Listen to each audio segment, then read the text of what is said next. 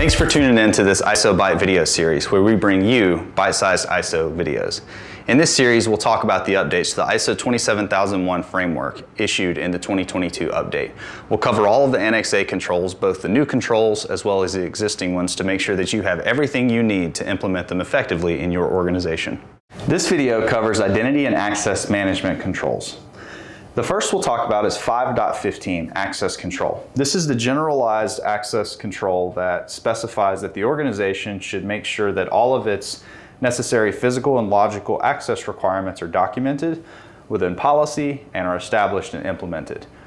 In addition to that is Control 5.16, which is identity management. It simply states the full life cycle of identity should be managed.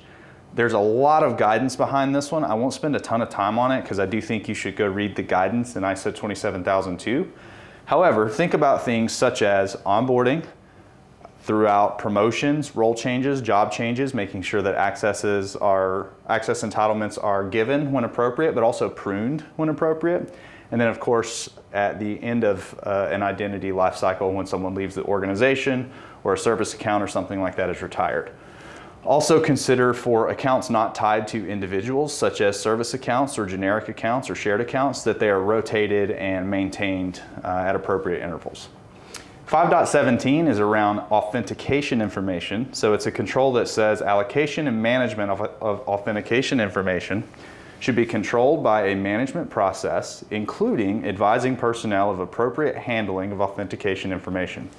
Essentially, Sometimes you have legitimate reasons to share passwords for particular shared accounts to exchange authentication information. IT teams a lot of times have to give new employees their authentication information to sign in to sign in for the first time.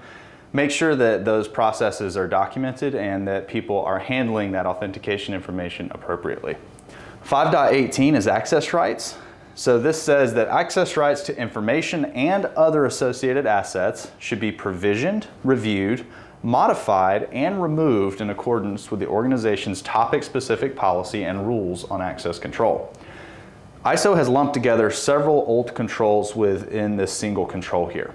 The idea is that you should be managing all pieces of access rights and you should have the documentation and processes on paper to make sure that they're being handled appropriately.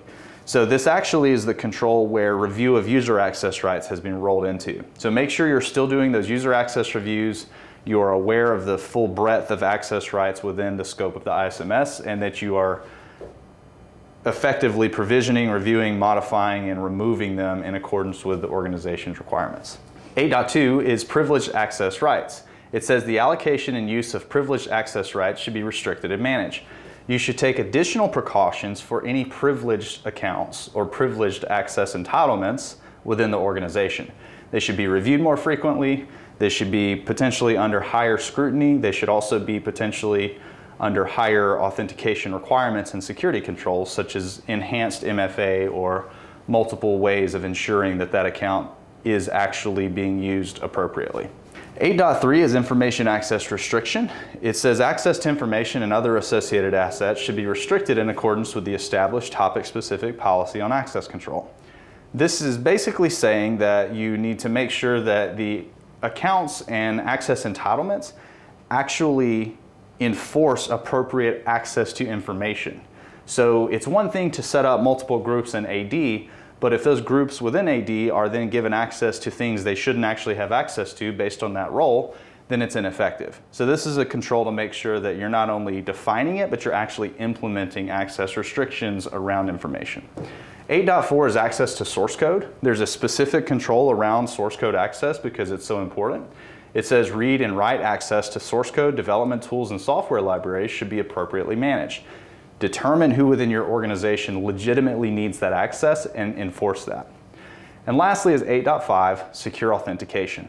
Secure authentication technologies and procedures should be implemented based on information access restrictions and the topic-specific policy on access control. What this means is that any type of authentication technologies, such as login technologies, think of Okta, for example, any type of third parties that are a part of your authentication process, uh, that those technologies and procedures are implemented based on the requirements of your organization. So just make sure that you're documenting what those requirements are and that you're ensuring any tools or processes meet those requirements. Thanks for tuning in to this ISO Byte video series. If you'd like to learn more about updates to the framework, check out a link in the description below to a white paper we've written. Also, make sure to like and subscribe to our YouTube channel for more great content like this. Look for us on LinkedIn and also check out our website at risk3sixty.com to learn more about how Risk3sixty may be able to help you achieve your security and compliance goals.